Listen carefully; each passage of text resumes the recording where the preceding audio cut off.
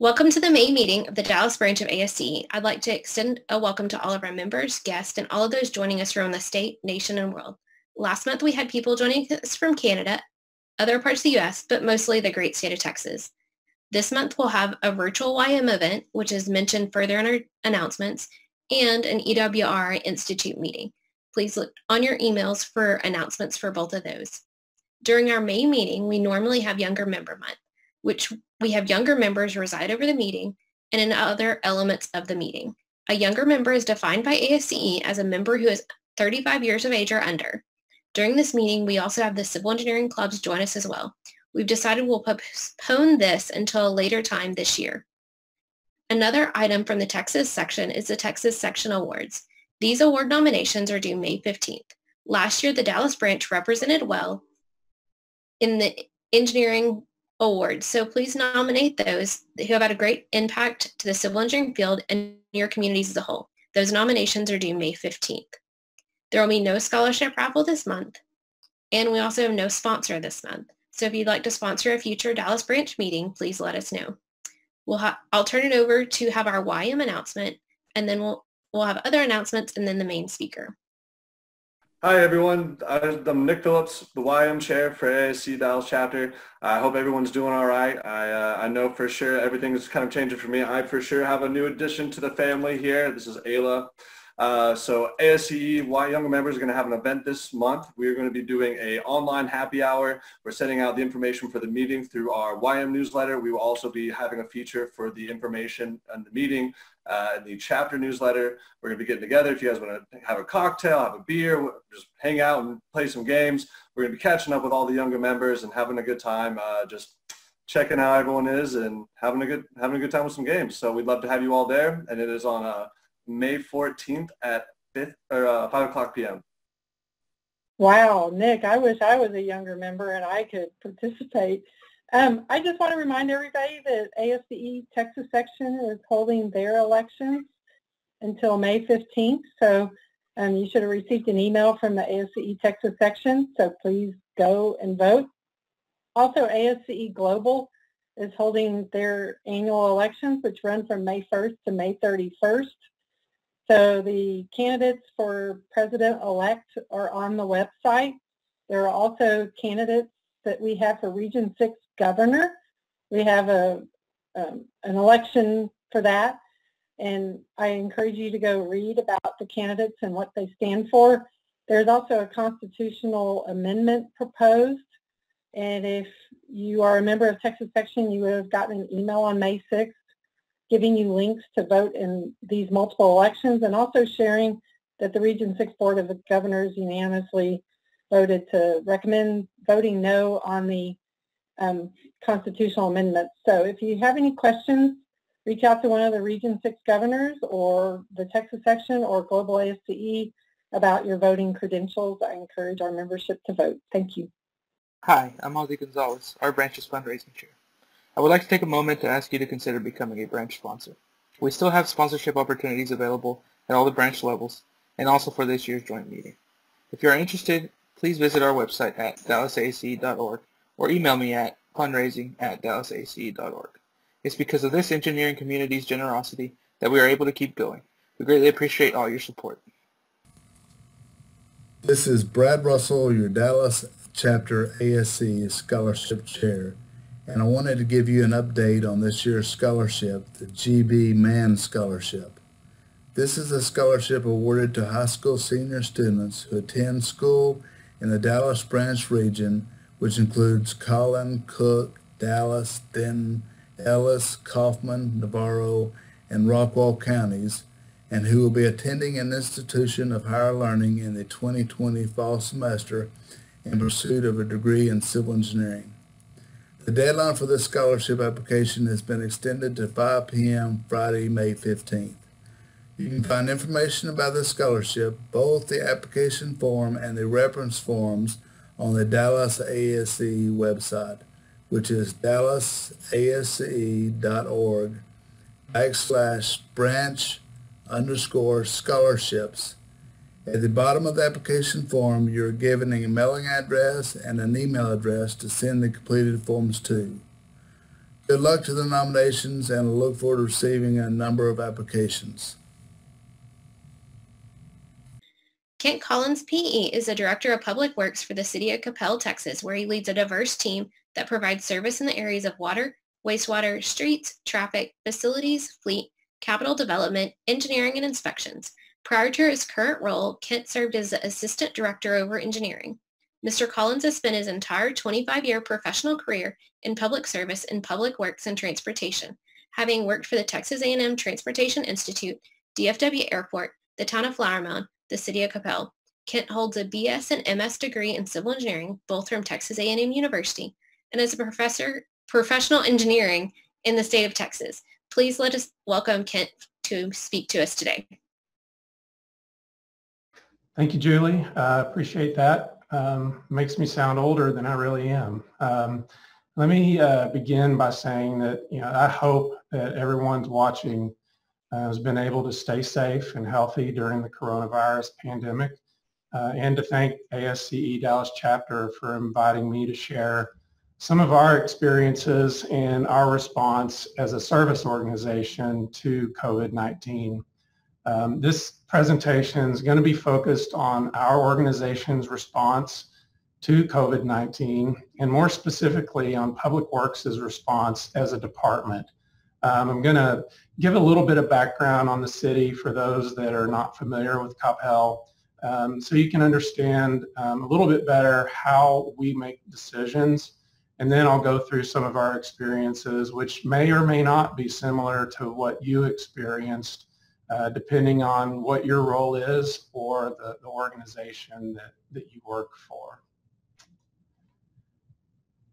So for those that, that are not familiar with Coppell, um, location-wise, we're, uh, we're just north of DFW Airport and adjacent to DFW Airport. Um, we've got a population of about uh, 42,000 people. Um, we we grew fast in the late in the, the 1990s and early 2000s and from a residential perspective we were mostly built out um, by the, the early uh, early aughts um, and our our commercial growth is heavily influenced by the DFW airport um, and I'm showing a map here and if you look at the west side of the city you can kind of kind of see where the residential, um, this is our utility and streets map.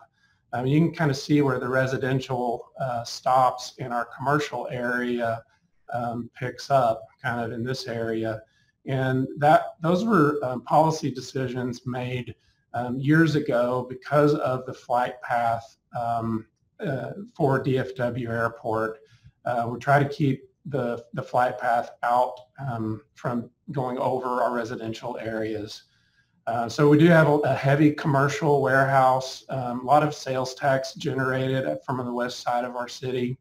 Um, and I'll, I'll, mention that's origin-based sales tax. Um, we have a very strong school district. It is a primary attraction for people moving to Coppell. Um, we, we have a decent amount of retail, but probably less storefront um, brick and mortar retail than a lot of communities. Again, the focus was on um, the kind of warehouse sales tax. Uh, that that was a focused and and um, purposeful decision, policy decision that was made years ago. Um, as an organization, we've you know we've gone through growing pains uh, as we were growing fast. Um, but over about the last 15 to 20 years, there's been a, a real strong service culture um, that was developed within the organization. And when I say service, it's, it's service to customers, service to each other. Um, we really place a high value on teamwork and working together to, to deliver that outstanding service um, and with a servant's heart. Um, and I, you know, I will mention that uh, there were a number of uh, things that were happening that we were already preparing to uh, reduce our budget. And so we've, we've had positions frozen for uh, quite a few months, uh, positions that were open and we froze them. Um, and we also were looking at reducing our uh, maintenance contracts dur- uh, for the, the current um, budget Um, and the, you know, these were things, they were either legislation um, placing um, property tax revenue caps on cities and or uh, sales tax uh, rules that were uh, being proposed by the comptroller. Um, so as we were kind of heading into the coronavirus um, pandemic, uh, we were already positioning our our budget um, and our expenditures um, to, to, prepare for outside influences besides the coronavirus. So I just want to mention that as, as I get into some of the decisions that, that we've been able to make, um, that, uh, that we were already pretty well positioned from a budget perspective because of other things that we were preparing for. Um, so talk a little bit about Public Works as a department. Um, this is a photo from our 2018 Public Works Week celebration. Um, you know, National Public Works Week is, is coming up here um, a week after, well, next week, um, begins next Monday. And um, we have an organization, our whole organization, the city's organization, about 420 employees, and we have about 55 uh, full-time equivalent positions in public works. So we're the fourth largest department in, in the city. Uh, we do serve functions of engineering facilities. We have a CIP and ADA um, group. Uh, we have a, we have fleet, obviously, and from the, the photo, that's that's one of our fleet bays. Streets, traffic, water, sewer, and and administration. Um, we've also, you know, I, I, talked about our organizational culture, um, and Public Works has had a uh, kind of a, a, service mindset for for a long time, but over the past few years, we've really uh, adopted a, a, deeper and focused culture mindset um, as first responders. And so we talk about preparing, training, and responding as first responders. And then we, we try to act with the values of service and teamwork and innovation um, because we really do think that those things embody how we go about our work um, on a daily basis. Um, so it's, you know, it's important that we work as teams. It's important that we think forward, think outside the box.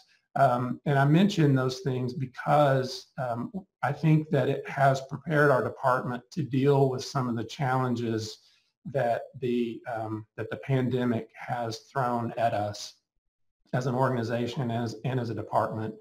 Um, and then, you know, as I described Public Works, you know, we have a very diverse group. Um, we have everything from field staff that are, you know, they're in the water, they're in the sewer, they're, they're patching potholes, working on equipment, uh, repairing our vehicles and equipment. Um, they interact with residents and businesses. Um, and then we also have engineering staff and architects and folks that are really kind of managing and reviewing plans. And um, so we have, we have probably the most diverse mix of staff of any of the departments uh, within the city. So we're a little unique there. Um, this is, you know, this displays or presents kind of our normal day-to-day -day responsibilities for the city. Um, and I'll be talking about how some of these have changed as as we were um, hit with the uh, the pandemic or COVID-19, um, you know, and it's it's worth mentioning as you look at these responsibilities, um, you know, the federal laws that were put into place in response to COVID-19 designated public works employees as emergency responders. And so um, we were sort of put in that category as essential uh, as essential employees, but also as emergency responders.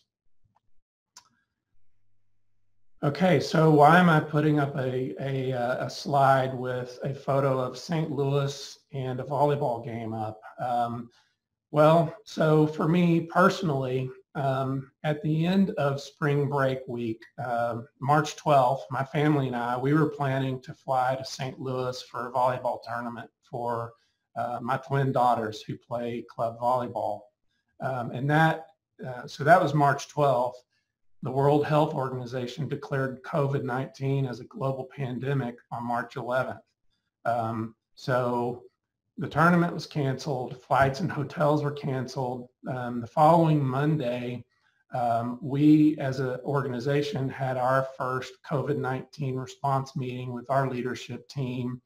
And really this is when things really started to change for our organization. Um, you know, that's when uh, shortly thereafter the county orders for stay at home started uh, falling into place. Um, and, you know, I just kind of give a, an early um, example of how we were responding. I had a, a public works employee who had flown to Ireland for a spring break trip. Um, while he was in the air over the Atlantic, Ireland was placed on the um, the high risk country travel list, um, and so he and his and his wife literally landed, decided that it was too risky to stay, um, turned around, changed their return flight, flew back uh, the next day, and as he landed, uh, we informed him that he needed to self quarantine for 14 days. Um, so he didn't have much of a spring break trip, and he, and he was met with our what was really our first response to COVID-19.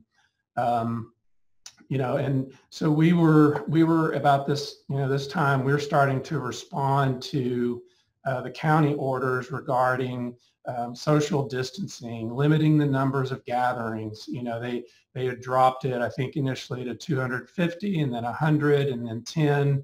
Um, and we um, as, a, as an organization, as a city, we closed our public activity facilities on March 14th. Um, and we also activated our Emergency Operations Center, our EOC. Um, and we began daily incident action meetings. Um, so we, we have an emergency um, coordinator and uh, we stood up the EOC. We were having more, uh, daily morning calls uh, we were starting to track all of our, our time spent on the COVID-19. Um, we, we started to stockpile and inventory all of the things that, um, that we were seeing we were going to need in response to, to COVID-19. Um, and, and I would say that the EOC was extremely helpful in getting those efforts organized um, and sort of in alignment with how a typical emergency response um, should should go. Um, we also initiated a policy group, um, and so what we're dealing with was everything from um, a federal law, right, um, and and county orders and the state rules. And we're trying to balance that with what are typical um, employment laws and EEOC laws and, and regulations. And I will tell you that those, those meetings were mind-numbing um, and extremely long, and but very important because we need to make sure that um, as we're allowing and thinking about allowing people to work from home, did we have a proper telecommute policy? Um, as folks are staying home to take care for their children, um, you know, we were thinking about things before some of these rules came down and how are we going to treat those employees? Are we going to be able to um, to, to pay them? Uh, what are they going to do while they're home if their job doesn't lend itself to um, to working from home? I mentioned our public facilities were closed we have a lot of employees that that is their job. Um, we have a community rec- recreation center. We have a biodiversity education center. Um, we have a life safety park. Uh, we have folks who are, their, their job is to run those facilities, to program those facilities. And those are large gathering spaces. Uh, when those doors close, um, what do those people do? So those are some of the challenges that we had to deal with early on um, as as we're closing the doors to those facilities. Um, and then we have some facilities that sort of remained open, um, but staff was still reporting. So, uh, you know, that's that's one of the things that a city has to deal with is kind of that mixture of staffing. Um, so this slide, it, has got, you know, I've got two photos or two, two graphics here. The one on the top left uh, was one of our uh, COVID-19 dashboards. Um, and this is, uh, I think, Dallas County's dashboard, or, or maybe the regional dashboard. I mean, it reminded us daily of the growing um, pandemic and impact in Coppell. Um, and I just looked and, you know, to, as of uh, May 6th, there's uh, 27 COVID-19 cases in Coppell um, and, and 4,865 cases in, in Dallas County. Um, you know, but this was a, a growing thing we're, we're dealing with. Um, but it's not a traditional disaster where, you know, incident command is easily applied. And so, so some of the traditional ICS methods, um, you know, could tend to, um, you know, we had to work hard to make sure those ICS methods didn't create any silos where they weren't intended. And I would say that our uh, emergency operating uh, operations folks did a really good job of making sure um, that they were communicating out with all the departments, making sure the needs were being met. Um, at the same time, keeping a good inventory and controlling um, those uh, the inventory of supplies. Um, so um, you know, again, um, the game changer for the city uh, was when the decision was made to close all facilities to public access, and that happened on March 23rd. Um, so for us, that's when the majority of our office staff ended up going to a communicate a telecommute work situation. Um, so we, while we had a work a flexible workplace policy, we really kind of had to scramble um, to implement some uh, a more detailed telecommuting policy about what are your what are your goals? How are we going to um, uh, uh, check in with folks on a regular basis? Um, you know, we our IT department we we have a lot of laptops deployed within our workforce anyway, um, and we have a refreshed schedule. And so fortunately, they had quite a few retired laptops that they were able to go in and recommission and get to folks that did not have the right um, technology to work from home. Um, you know, we initially we shifted to Skype meetings for our communications, um, but we uh, pretty quickly identified some shortcomings for, of, of Skype for Business.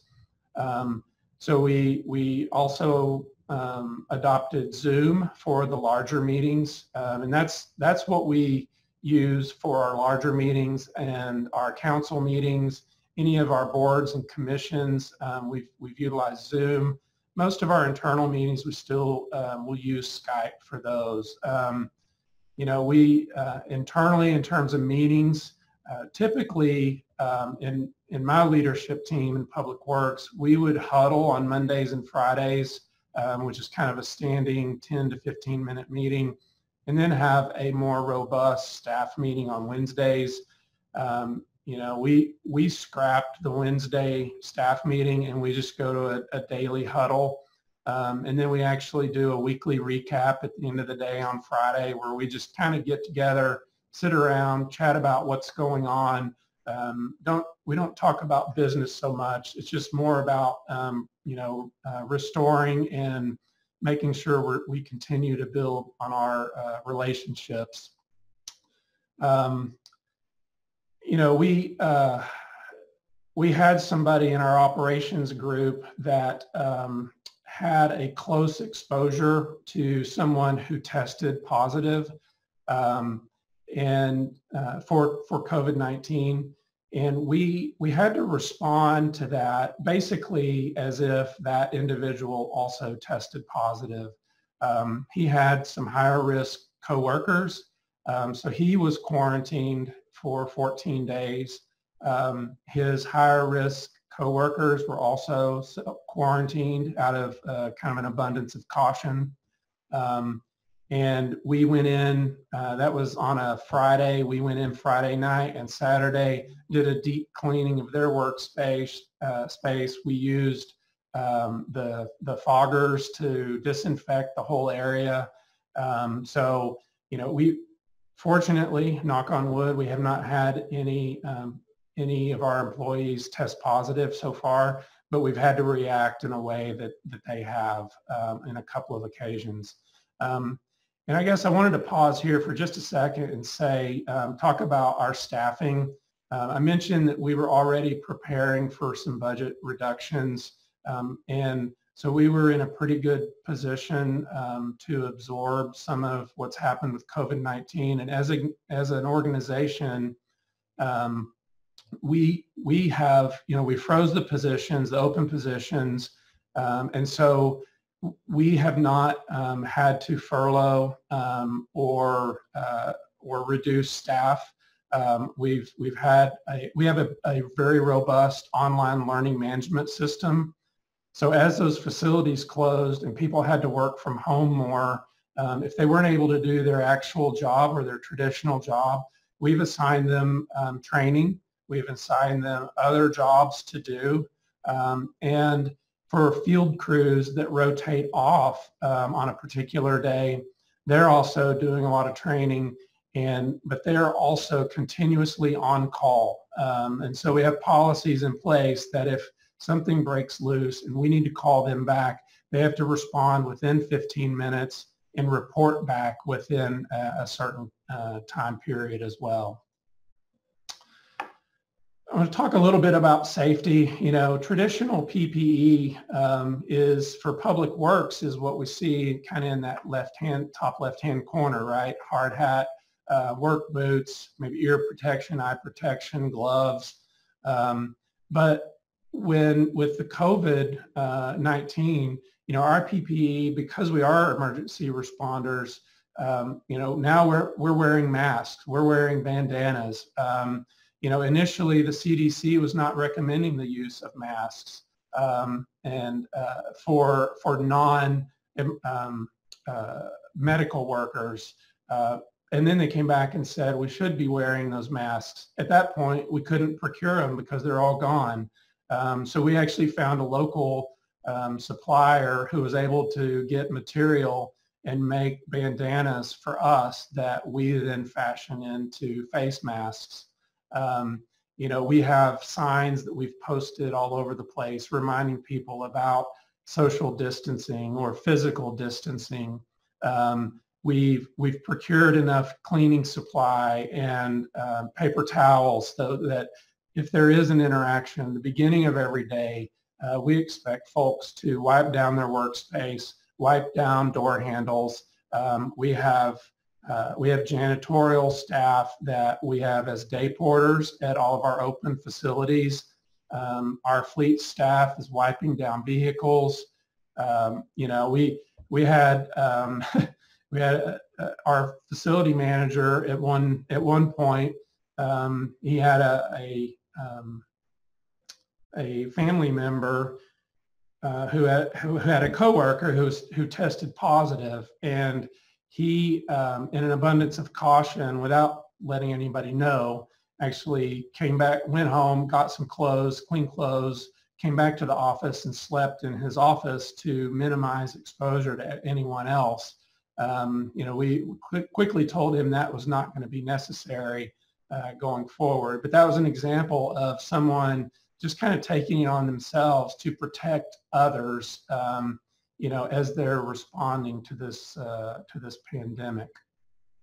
Um, I also wanted to, to share, you know, at the end of towards the end of March, um, I got an email from one of our our field crews asking to meet with me. Um, at that point, we were still um, we were having all of our field crews report uh, to the office, to their trucks, and go out. Um, and they uh, and I agreed to meet with him. Um, he showed up with uh, five other guys, um, and so we sat down um, more than six feet apart, and we had a conversation about because um, they they all kind of walked in as one large group, and we're not social distancing. Um, and so, you know, I listened to their concerns because what they were sharing was were real fears about working working closely with other other people in an environment that did not at that point seem to be um, you know they were not seeing things being wiped down to to what you know they had, would hope and so um, you know we talked about making sure that they were maintaining social distance um, that they were, you know, doing their part in cleaning their workspace. Um, and then we also, the next week, went to a policy um, where we had um, shifted to where only one crewman per vehicle going out um, after that uh, to, again, to allow better separation between guys. Um, so yeah, our, our job does go on. Uh, we have to continue to respond. Um, you know, one of the things we we noticed real early on was when people were asked to uh, to stay at home or shelter in place, um, the traffic volumes uh, dropped significantly. Um, not you know no secret there. You know we're fortunate we ha- we do have an ATMS uh, signal system um, you know, we have Intelight and MaxView. We've recently gone to all McCain controllers. And so really with a, a, quick phone call to our signal techs, you know, we were able to go from a very, I would say, complicated um, system of, you know, progression uh, in the morning. Uh, you know, we have, we probably had three plans for each morning. We had a, a, a midday, weekday uh, plan and then um, an afternoon school peak uh, plan and then and then the evening plan and um, so we were able to, to really take those out, go to our weekend uh, progression plan, uh, reduced our cycle length, much more responsive, and we were able to do that very quickly. So we were fortunate there. Um, you know, our fleet uh, group, they continue to operate at a very high level. Um, and in fact, uh, last month they were just awarded uh, for the third year in a row, um, one of the 100 best fleets um, in North America. Uh, you know, we we have we're on EnerGov, which is a Tyler product um, for our land development process. So we use EnerGov and Bluebeam. We're continuing to uh, to review plans electronically. Um, so we were kind of already on a paperless platform. Um, so we've continued that work. Um, we're we're actually in a in a reorganization process with our field crews to um, to go from a crew leader um, setup where they they are we don't have field supervisors to one where we do have field supervisors, um, and that effort is still ongoing. Um, at this point, all of our most of our teams are on a rotation of some sort. Uh, we're continuing, you know, as I mentioned, we're in our budget process and you know, we're we're continuing that. We uh, we we have city council meetings, which I just I described via Zoom. Um, you know, we had a time period. Um, Republic Waste is our uh, solid waste provider, and we had a period where they were not comfortable continuing bulk trash pickup, um, so they stopped that, and we went to roll-offs. Uh, and that was a big mess. Anybody who's gone to a roll-off situation knows how uh, what that can look like. Um, but it did provide the service that uh, that Republic could not provide for a time period. Um, you know, we we've seen that our projects, our capital projects, have slowed a little, um, but they are continuing. You know, right now we have an art center that's still um, under construction. We're rebuilding Freeport Parkway. We're uh, rebuilding Parkway Boulevard right outside um, our city hall here. Uh, we've got residential street under construction. Now told probably you know about $45 million in um, in capital projects that's going on. Um, you know our our engineering inspectors um, they're a group that have continued continued to report to the office um, every day and and do their inspections. Um, you know, one of the things we've asked them to do is think about remote inspections. How would that, what would that look like? Could we use drones? um, to provide those inspections? Do we put that on the contractors or the developers um, to, to provide video of the work that we need to inspect? Um, you know, I will say that we, uh, as a city, we're inspe- expected to police the reduced workforce um, that was um, placed on the contractors. Um, so that has that has had some impact on our our projects and and the our contractors crews. Um, and I'll just mention we do a, a lot of leadership and culture training um, in Coppell. Um, Pat Lencioni is is one of our go-to sources. Um, and I'll, I'll, just share that he has a podcast series out there. It's really good. Um, and, and one of them is it focuses on the five dysfunctions of a virtual team. Um, so if you know of Pat Lencioni, uh, I would, you know, search that up. It helps. It's really good advice and, and good information to make sure that your teams stay healthy while you uh, work remote from each other. Um, I, I want to mention here, um, we, you know, we are rebuilding Freeport Parkway, um, and we had a basically a smart work zone that was in place uh, through throughout the duration of construction. Um, it's really winding down, and with the lighter traffic volumes, there aren't a lot of traffic impacts associated with the construction. So we asked um, TTI, who's helping us with that uh, smart work zone project, um, to reprogram our uh, our PCMS boards and just have them as uh, kind of a PSA. So I'll I'll flip through that. Basically says eat local, social distance. Um, so that was one of the changes that that we made a few weeks ago. Um, so what is what's next for us? Um, you know, there's there's definitely some questions, um, and we don't have all the answers. You know, it's it's a it is a fluid situation to some extent. Um, I, you know, I guess one of the questions is, you know, is working home going to be a permanent situation for some of our folks? Um, you know, I would submit that at least for part of the time um, each week, that probably will be um, part of our new reality. Um, you know, are we going to limit crew sizes? You know, can we sustain the one person per truck? Um, that probably is not sustainable.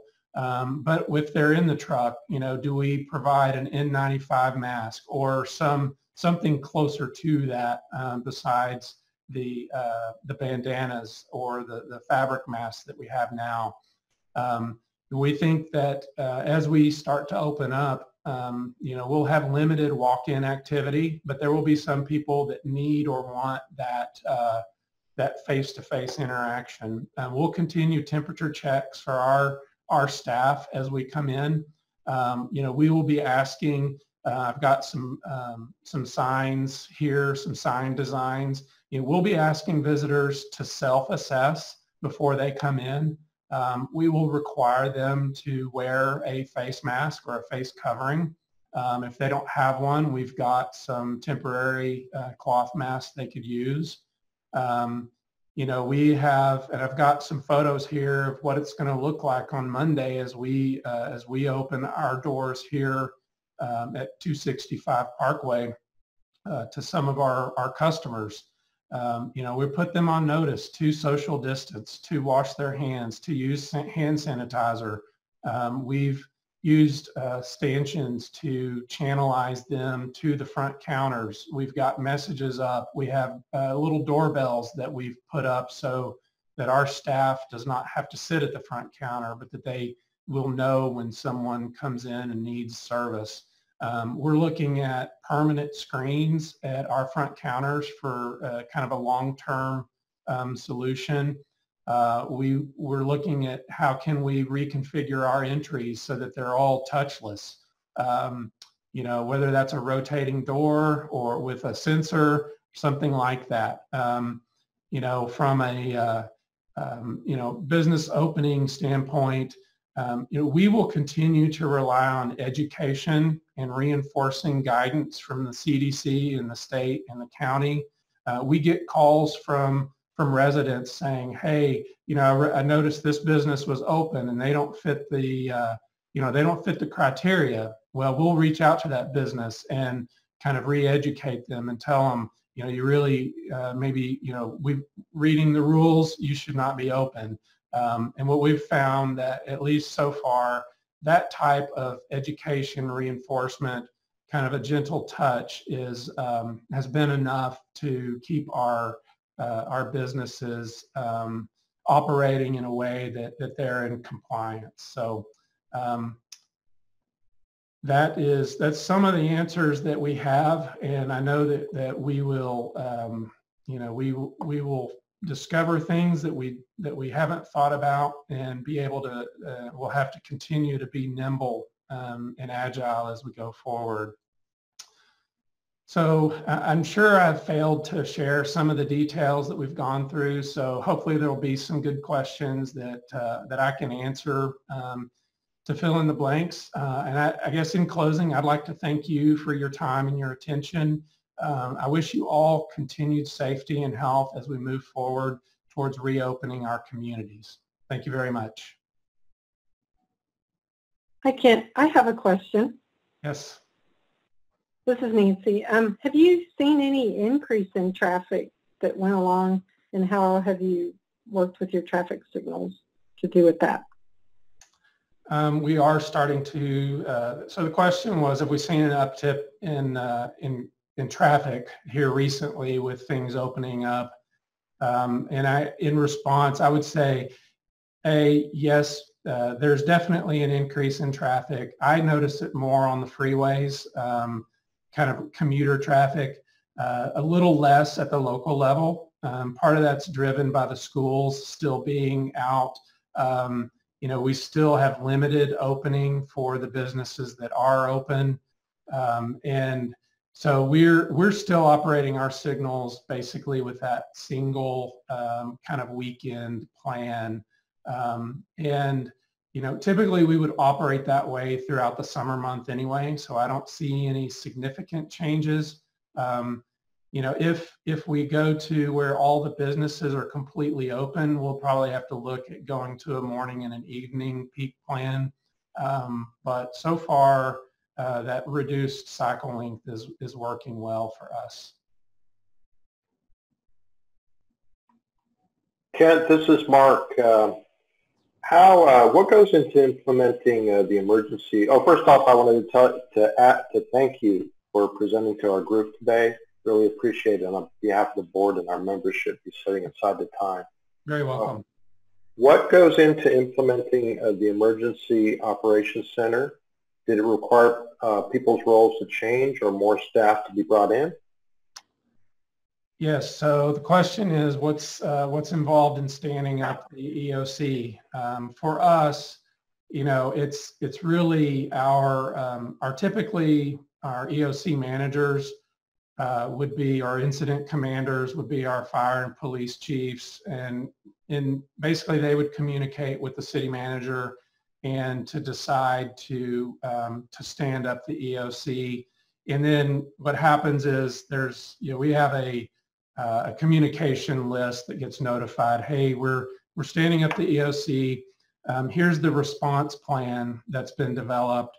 Um, and in this case, yes, they did identify specific roles, and that's what would happen with any incident, right? There's specific roles that are needed, um, specific coordinators that are needed, and um, and so in, in this case with COVID-19, you know, they identified folks that were going to be responsible for facilities, um, folks who were responsible for, you know, for law enforcement and for fire and EMS response, um, people who were, um, you know, for looking at supply and stockpile, things like that. And um, at, at that point, we had closed the doors to our public access or our public activity uh, centers so we had some uh, some staff that were you know highly capable, um, but did not were not able to do their traditional job um, because those facilities were closed, and so they were sort of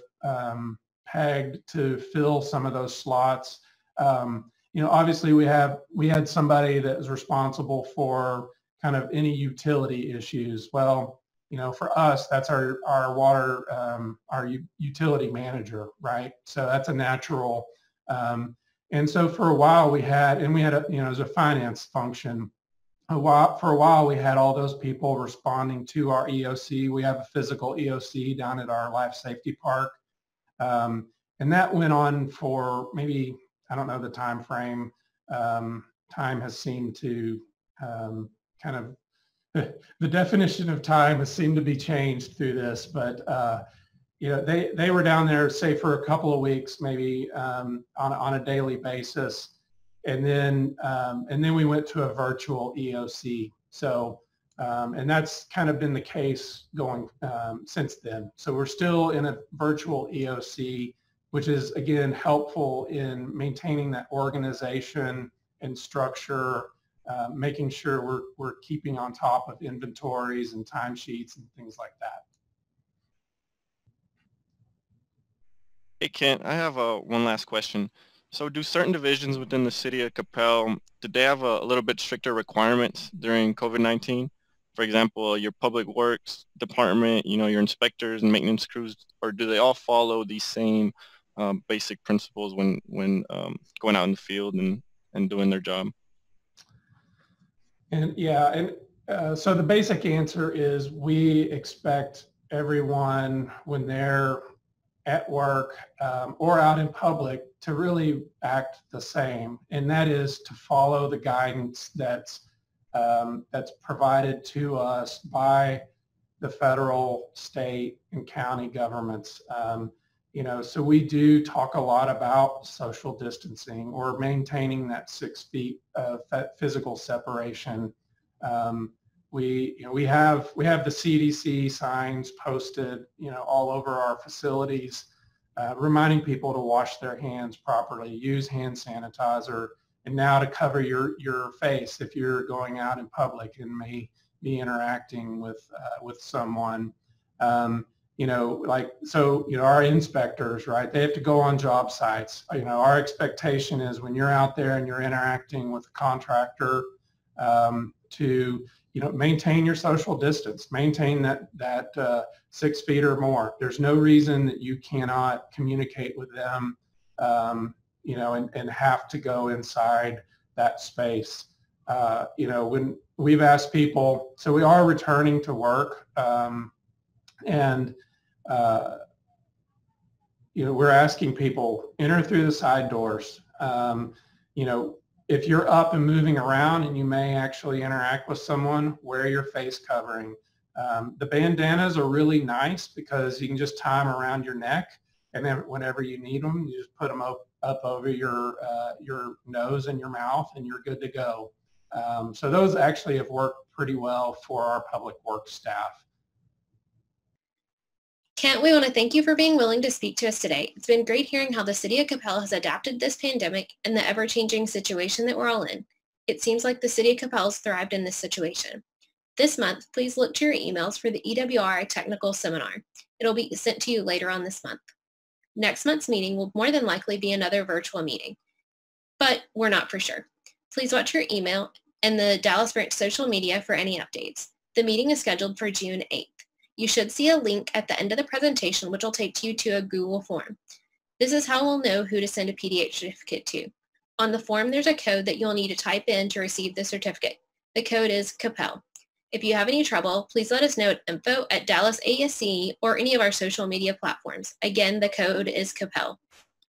If you have any additional questions you want to ask our speaker today, please put those in the comments section and we'll send those to him and send you back the responses. He may even answer while we're live today. In the end, I couldn't do this on my own. It's a team effort. So thanks to those who have helped put this meeting on. Thanks for attending the virtual meeting of the Dallas branch, and I hope you have a great week. With that, I'm going to adjourn the meeting. Thanks for joining us.